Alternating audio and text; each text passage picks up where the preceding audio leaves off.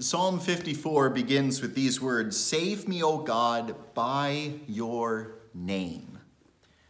The name of God in Old Testament and New Testament is a really remarkable thing. And uh, th there's two places that's really good to go when we think about the, the name of God. Uh, the first in the Old Testament is the temple. It's a place where God put his name. Uh, he's got his name there, his, his saving name. It's a place where, where people could go uh, and know who he is. Because that's what a name does. It lets you know who someone is.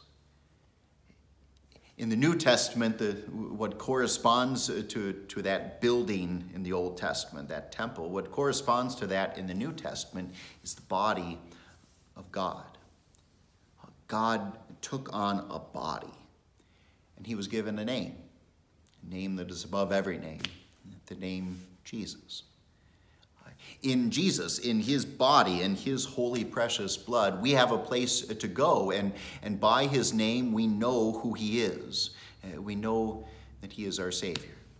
And the name Jesus means he will save his people uh, from their sins in him, in Jesus Christ, uh, the, who is the, the fulfillment of the temple, God dwelling among us, a place where we can go, uh, a physical location in his body and his blood, uh, which now is, is a supernatural sort of thing that's beyond us and, and totally understanding it, but, but that body of Christ in the church, the body of believers, that body of Christ in, in the Holy Supper, um, where we get to eat, we get to drink. Salvation is poured down our throats. Amazing thing. That, that body of Christ that we are crucified with and raised with in holy baptism. There, there we find Jesus in his word and in his sacraments, in his church. And there we have the answer uh, to Psalm 54. Save me, O God, by your name. It's always great when we hear the, about the name of God, and there are many titles, many names of, of God that we hear in the scriptures, but it's always great to go to, to the name Jesus, the name given to this God in the flesh, where we can find our salvation. Let's pray Psalm 54. Save me, O God, by your name.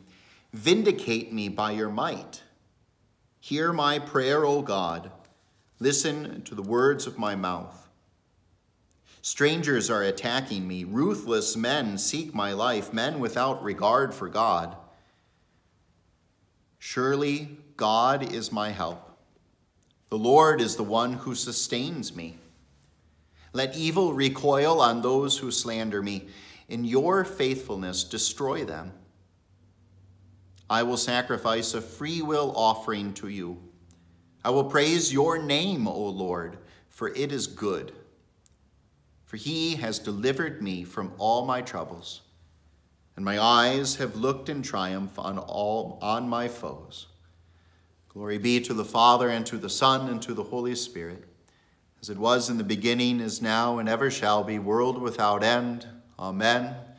Alleluia. Peace be with you.